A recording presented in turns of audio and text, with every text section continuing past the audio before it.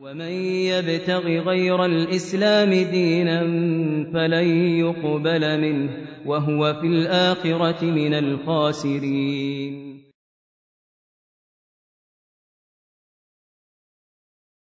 ذكرت آنفا من أن وقوع العالم في البدعة لا يعني أنه مبتدئ وأن وقوع العالم في ارتكاب المحرم أي في القول بإباحة ما هو محرم طبعا اجتهادا منه هنا وهناك.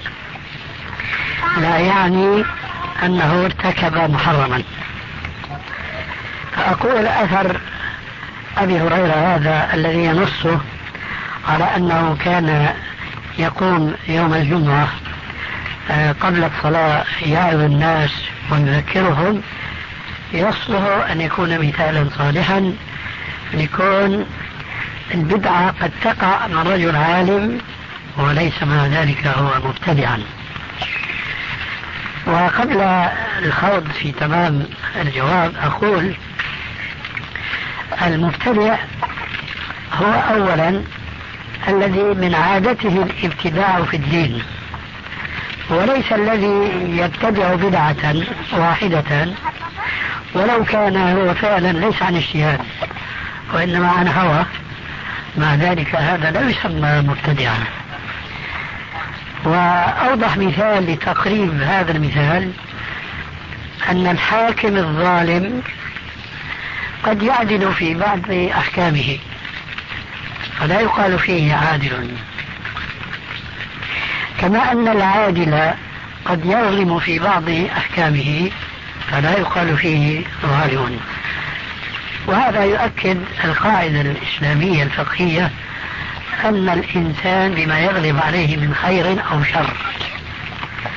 إذا عرفنا هذه الحقيقة عرفنا من هو المبتدئ فيشترط في المبتدئ إذا شرطان. الأول أن لا يكون مجتهدا وإنما يكون متبعا للهوى. الثانية أو الثاني يكون ذلك من عادته ومن ديدنه. فإذا لاحظنا هذين الشرطين وجئنا إلى أثر أبي هريرة المذكور آنفا عرفنا أن كل من الشرطين غير متوفر في أبي هريرة. نحن نقول نعم هذه بدعة لأنها مخالفة للسنة وسيأتي البيان. لكن ما نقول إن أبا هريرة مبتدع؟ ومن هنا غاب عن أذهان كثير من إخواننا أهل السنة في الديانة حينما نقموا علي قولي بأن وضع اليمنى على اليسرى في القيام الثاني بدعة. كيف أنت بتقول بدعة والشيخ الفلاني بيقول هذا سنة والشيخ الفلاني؟ إذا هن مبتدعة. عرفتم الجواب الآن أنه لا ليس مبتدعة لكن هذا الفعل على الأقل في نقدي وفي وجهة نظري هو بدعة نعود الآن إلى أثر أبي هريرة. أولا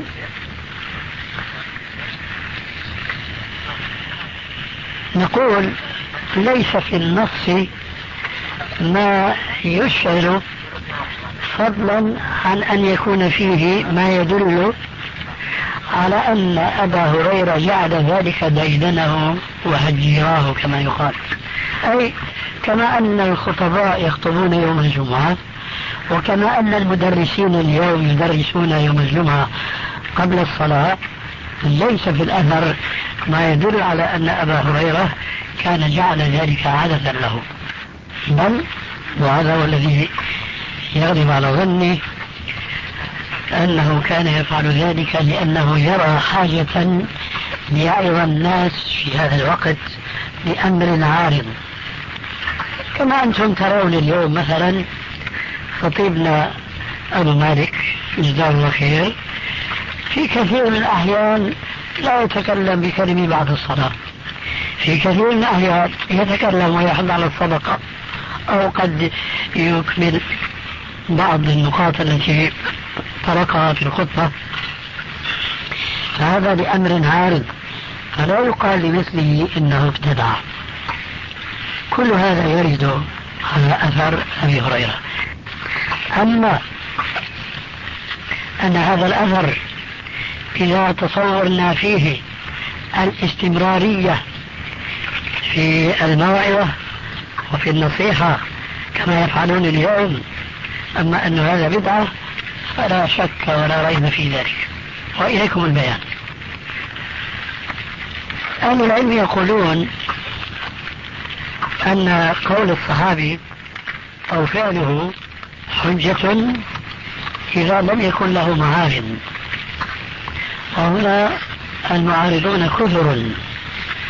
ذلك لأنه من الثابت أن أصحاب النبي صلى الله عليه وآله وسلم كانوا إذا دخلوا المسجد يوم الجمعة صلوا ما بدا لهم من ركعات حتى روي عن بعضهم أنه كان يصلي ثمان ركعات. وهذا هو الذي أمر به الرسول عليه السلام وحب عليه في الأحاديث الصحيحة. في مثل قوله صلى الله عليه وآله وسلم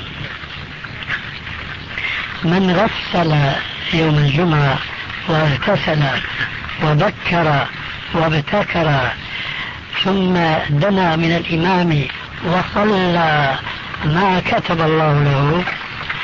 وفي رواية ما قدر له إلا غفر الله له ما بينه وبين الجمعة التي تليها. إذا يوم الجمعة المسجد قبل الخطبة هو مجلس للعبادة الشخصية. من شاء لابد من التحية من شاء زاد كما ذكرنا عن بعض الصحابة. صلى من النوافل ما كتب الله له. أو جلس يصلي على النبي صلى الله عليه وآله وسلم لأنه أمر بذلك حينما قال في الحديث الصحيح أكثروا علي من الصلاة يوم الجمعة فإن صلاتكم تملوني. قالوا كيف ذاك؟ وقد أرمت. قال إن الله حرم على الأرض أن تأكل أجساد الأنبياء. أو جلس يقرأ سورة الكهف. لأن هذا أيضا من السنة كما هو معلوم.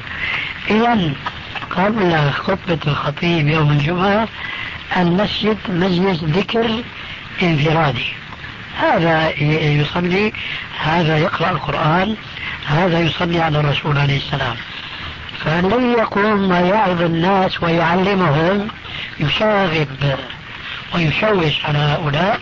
وهذا بلا شك خلاف هذه السنة بل وخلاف قوله عليه الصلاة والسلام يا أيها الناس كلكم يناجي ربه فلا يجهر بعضكم على بعض بالقراءة. فالشاهد إذا التدريس أو الوعظ بين يدي خطبة الجمعة في تشويش على هؤلاء المصلين. قد يأتي الرجل والخطيب يخطب فيؤمر بأن يصلي ركعتين. قد يأتي ما قبل فيصلي هذا من هنا هذا من هنا. والذي يدرس ابتداء ابتداعا في الدين يشوش على هؤلاء المصلين. لذلك نحن نقول أثر أبي هريرة على القاعدة التي ذكرناها آنفا مع أبي طلحة في بعض المناسبات التمس لأخيك عذرا. فنحن نلتمس لحافظ الصحابة أحفظ الصحابة لحديث الرجل أبو هريرة نلتمس له عذرا نقول لعله كان يبدو له فواعظ وليس ذلك رتيبا ولزاما لابد من ذلك. فإن ضاقت علينا سبل التماس العذر قلنا هذا رأي له لا نحاسبه عليه ولا نتبعه لأنه يشبه تماما كشيء آخر كشيء آخر له أنه كان إذا توضأ أوصل الماء إلى إبطه وأوصل الماء إلى ساقه. هذا رأي كان له وكان يحاول التستر في ذلك حتى لما قال له رجل كان يراقبه سأله عن ذلك قال أنت هنا بنو فروخ؟ ما كان يظن أنه في هناك مراقب. فالشاهد أن الرسول عليه السلام علمنا كيف نتوضأ. وما كان من أن يبالغ هذه المبالغة. فهذا ثبت عن أبي هريرة في صحيح مسلم فلا نتبعه لكن لا نقول إنه ابتدع لأنه لم يتوفر فيه الشرطان المذكورين آنفا وهو أن يكون من عادته الابتداع في الدين وأن لا يكون عالما مجتهدا. هذا هو جواب هذا الأثر ولعله واضح إن شاء الله.